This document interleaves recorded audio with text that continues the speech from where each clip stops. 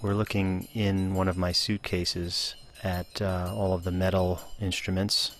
Some of them are found, like the ashtray and metal pipes, Brazilian agogo bells, handmade percussion, and other junk. The table setup here consists of small flat Chinese gongs, a nipple gong, and some found metal pieces and some other metal pieces from Mali.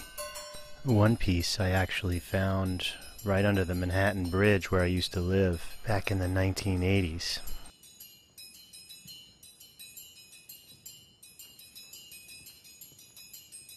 I usually arrange the gongs and metal pieces so that it has some kind of harmonic and melodic relationship. But there are times when it's a little more random so that I can sort of have a chance discovery as I like to spontaneously compose.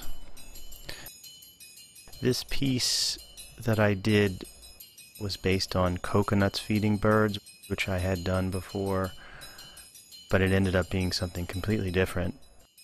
It ended up becoming uh, kiwis feeding birds. These sounds are basically a combination of African, Chinese, and New York street sounds.